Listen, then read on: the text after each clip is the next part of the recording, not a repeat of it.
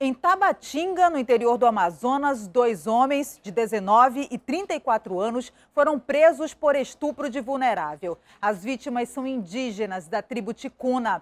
Os crimes foram denunciados por representantes da Secretaria Especial de Saúde Indígena. Segundo a polícia, o jovem de 19 anos está envolvido em um estupro coletivo ocorrido no ano passado em uma comunidade indígena na zona rural de Tabatinga. A vítima na época tinha 11 anos. Já o homem de 34 anos foi preso em uma outra comunidade indígena, denunciado por abusar sexualmente desde 2011 a prima da esposa dele, uma adolescente que hoje tem 12 anos de idade, ou seja, na época dos abusos, ela tinha apenas 5 anos. A cesta básica teve mais um aumento em agosto, segundo uma pesquisa do DIEESE. Leite e banana foram os produtos que tiveram maior reajuste nos preços.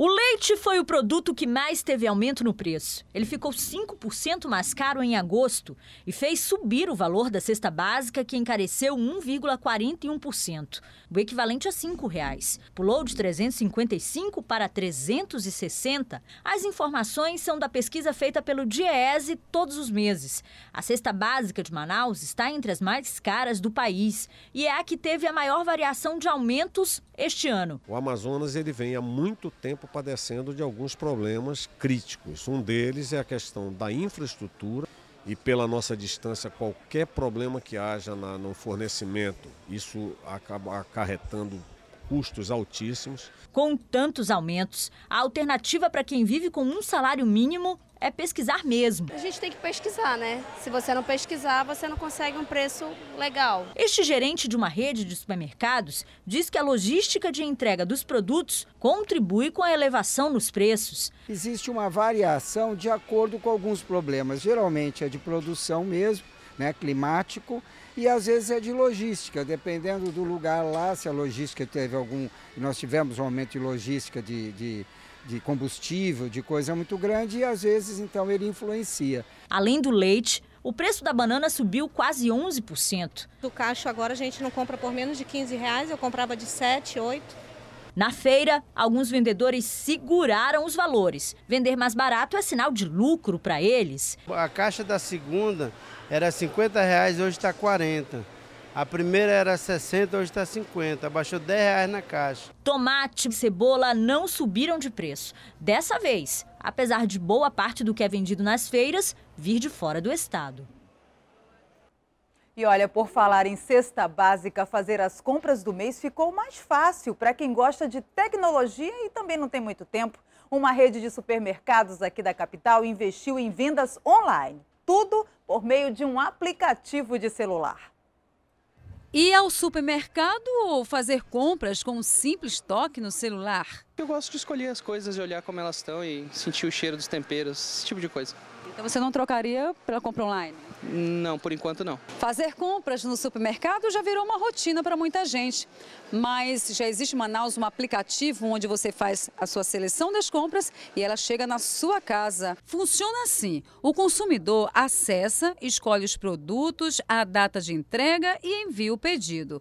O funcionário separa os itens escolhidos e já segue para a casa do cliente. A taxa de entrega custa entre 9 e 15 reais. Isso é uma tendência que vem acontecendo em outros estados, em outras cidades, inclusive fora do Brasil, que Manaus está chegando agora para ser uma é, uma nova forma, uma nova experiência de compras para o consumidor. Neste supermercado da Zona Sul de Manaus, a meta é atender pelo menos 10 clientes por dia, via internet. Buscamos cada vez mais inovações, né? É, e esse serviço da tecnologia vai com certeza ajudar muito é, é, tanto o nosso cliente quanto é, a próprio, que é o que a gente busca, um número do nosso faturamento. Tem ônus e bônus nas duas, então eu acredito que a compra online ela possa te vir a te beneficiar caso você esteja atrapalhado ou receber uma visita em cima da hora, de repente que não avisou, enfim. Mas eu particularmente prefiro vir na loja e escolher meu produto eu mesma. Todos os dias, botos e peixes-bois morrem nos rios da Amazônia, vítima de redes de pesca que são abandonadas nas águas. As instituições que trabalham na proteção das espécies tentam diminuir essa mortalidade com a conscientização dos ribeirinhos. Esse boto por pouco não morreu enrolado em uma rede de pesca. Foi socorrido por pesquisadores do Instituto Mamirauá, no Lago Jutaí. Demorou uns 15, 20 minutos, mas a gente conseguiu salvar o boto. Demorou um pouquinho para subir para respirar, a gente ficou um pouco preocupado, mas logo depois ele subiu e a gente viu que estava tudo bem. O problema é comum na região, principalmente pelo uso tradicional de redes de pesca e de malhadeira, equipamentos geralmente feitos de nylon.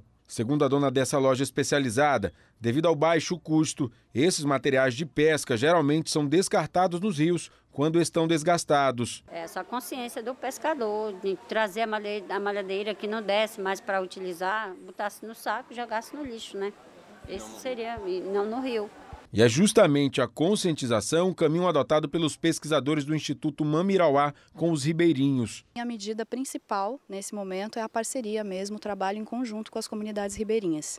Tentar fazer com que eles sintam essa empatia, que não matem o bicho quando o bicho está preso na malhadeira, que soltem, né, que tenham mais esse, essa consciência ambiental mesmo. Recentemente, o órgão da ONU para Alimentação e Agricultura exigiu que os países membros da organização criem cadastro para quem comprar esse tipo de equipamento de pesca. Inicialmente, a medida é voltada para pescadores de água salgada, que atuam na atividade comercial. Isso, segundo a FAO, permitiria controle sobre quem descarta redes nos oceanos. A resolução da ONU atinge apenas a pesca marinha e, mesmo que funcionasse para a pesca nos rios amazônicos, seria muito difícil fiscalizar o uso desse tipo de malhadeira, até porque a região é gigantesca e não tem como fiscalizar uma área tão grande assim. O uso de redes de pesca em desembocaduras de rios, encontros de águas, é proibido por lei, inclusive em várias dezenas de metros ao longo da costa dessas desembocaduras. E o que a gente vê, o maior volume de redes